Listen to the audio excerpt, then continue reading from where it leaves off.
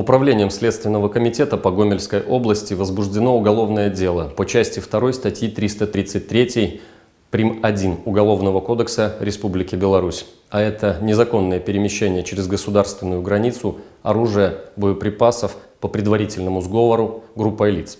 Установлено, что 20 марта в районе часа 45 в пункте пропуска Александровка произошел несанкционированный въезд автомобиля «Джип» на территорию Республики Беларусь который без остановки проехал два КПП с повреждением шлагбаумов. Сотрудниками Государственного пограничного комитета данный автомобиль был задержан в километре от пункта пропуска с применением табельного оружия.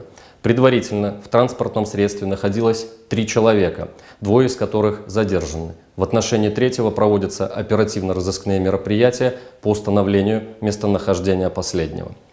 На месте происшествия из автомобиля изъяты оружие, боеприпасы, а также взрывчатые вещества, а именно пистолет марки ТТ с двумя снаряженными магазинами к нему, тротиловые шашки, электродетонаторы, ручные гранаты, пластид, а также самодельное взрывное устройство.